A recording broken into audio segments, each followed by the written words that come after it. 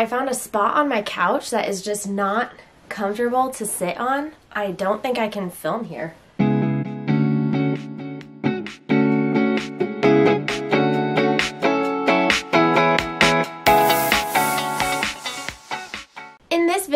We are doing tips and advice for new POTS patients and in general, things I wish I knew when I was first diagnosed with POTS. Although these tips are geared for people who are new to POTS, I do think that they are going to be good for pretty much anybody who has POTS, postural orthostatic tachycardia syndrome. My YouTube channel is very migraine focused, but I've actually been a POTS patient for four years. I'm fresh enough to POTS that I still remember how bad those early days are and how every day basically sucks and you feel a little bit hopeless. But I'm also seasoned enough now in my walk with POTS that I know that I can give sound POTS advice and help you in your journey with POTS too.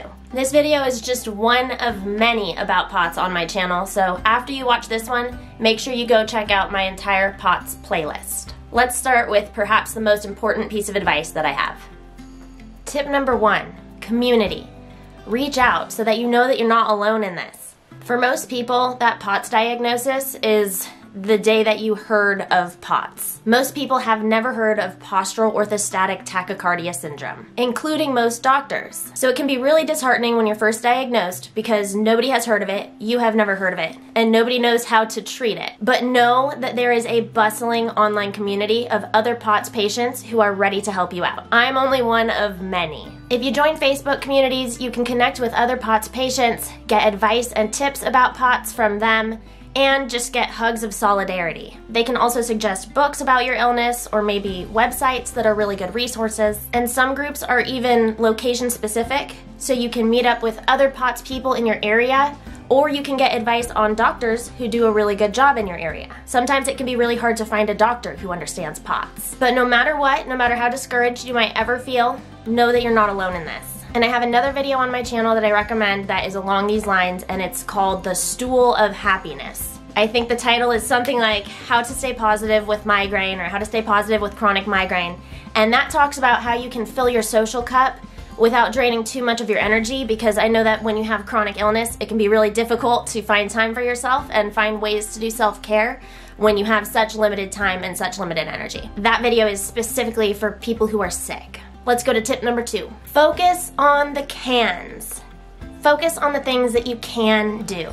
POTS has a way of disabling you in a way that's just different from anything else I've ever experienced. It's really weird because even though my brain feels on when I'm sitting down, when I'm laying down, everything seems like it's totally fine. It's like the second I stand up, my brain is jello, my heart is going crazy like I'm jogging, I can't stop eating, I'm sometimes a little bit nauseous, and in a way it kind of mimics a panic attack. Check out my video POTS versus Anxiety for more about that. So in a world where that suddenly became my new normal, I found myself constantly telling myself like, oh, I can't do that. I can't do that anymore. I can't stand at the concert. I can't go shopping with my friends. I can't, whatever else I can't do. But instead of focusing on what you can't do, you have to focus on what you can do or how you can do those things that you think that you can't do. So for example, how can I enjoy myself at the concert rather than I can't stand at the concert? Or how can I enjoy shopping with my friends again rather than I can't shop with my friends again? Sometimes the answer is not that easy to come by, but sometimes the answer is as easy as buying yourself a walker, which is what happened to me last week. I finally got myself a walker, and then I was able to enjoy going shopping with my friends again.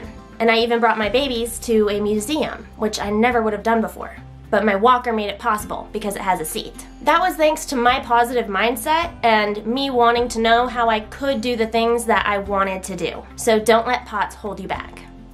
With every single tip, I'm like, wow, that's the best one. These are so good. Number three, know your triggers. Know your POTS triggers. I know that in the beginning it can seem like it's all the time and nothing is making a difference no matter what you change or what you do. But trust me, you need to try something, stick to it for a few weeks, stick to it for a few months or whatever your doctor recommends, and see if that does help you mitigate your symptoms. There are some things that commonly worsen POTS, and these are things I wish I knew about when I was just diagnosed with POTS. So, new POTS patients, listen up. Things like standing up too fast will worsen your POTS. Heat tends to be a trigger for a lot of patients. Putting your hands up in the air, up over your head, may also worsen your symptoms. There's also certain foods for some people. For me, if I have a lot of salt at once and not enough water to go with it, then that will worsen my POTS a lot. In fact, outside of standing upright, that's one of my worst fainting triggers, is huge salt bombs. Dehydration in general is not good if you have POTS. And along the lines of those salt bombs, what I meant by that is sodium bombs. Table salt, if all I eat is table salt.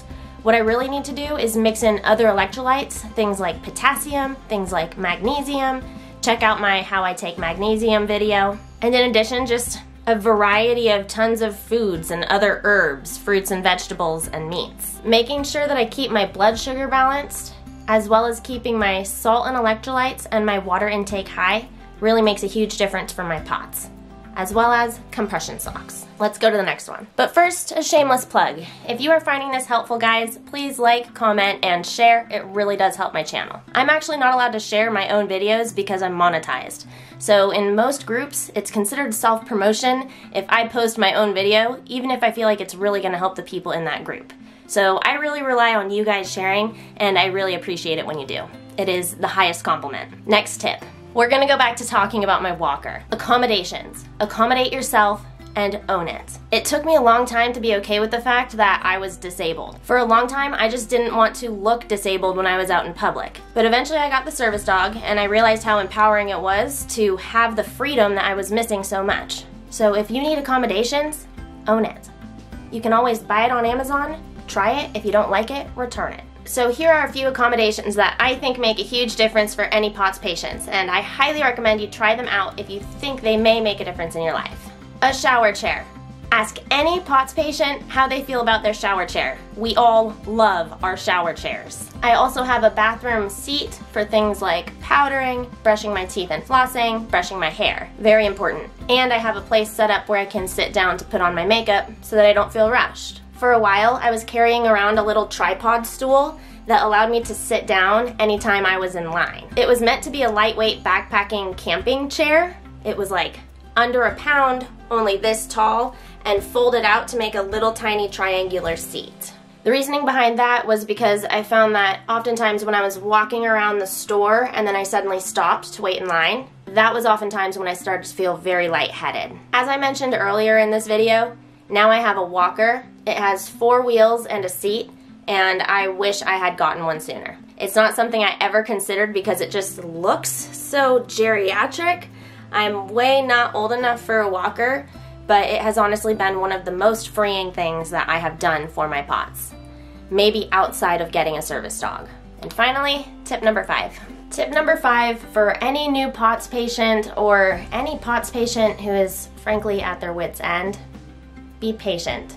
Be patient with yourself and be patient with your doctors. Be patient with your treatment plan because it can take a very long time. Be patient with medications and their side effects and how sometimes they can make it worse instead of better. Be patient with your body while it learns to adjust to those new side effects. Forgive yourself for coming down with this because it's absolutely not your fault that you're sick. And if a doctor tells you that POTS isn't real, fire that doctor and move on to a different one. This condition, as well as chronic migraine, have caused a lot of FOMO for me in my life. I've missed out on a lot of social things, a lot of career things, a lot of parenting and relationship things, a lot of dates, trips, adventures and activities. But I've gained a lot too.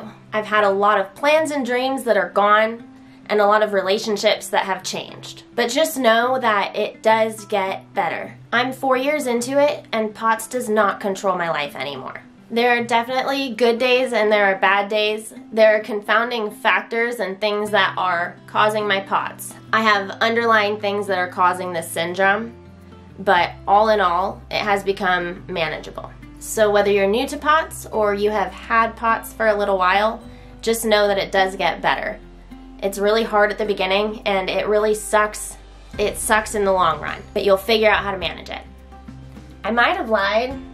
This actually might be the most important thing when it comes to being diagnosed with POTS because POTS is the kind of thing where it is lifelong, there is no cure, and you just manage your symptoms the best that you can. But for a lot of POTS patients, there's actually something underlying, and that thing might actually have a cure. So that is a really big deal. I'm not going to get into that kind of stuff in this video, but please poke around at my channel and at my POTS playlist if you want to learn more about that. Don't lose hope, and don't forget to continue to reach out to one another. Love you guys, and I'll see you in the next one.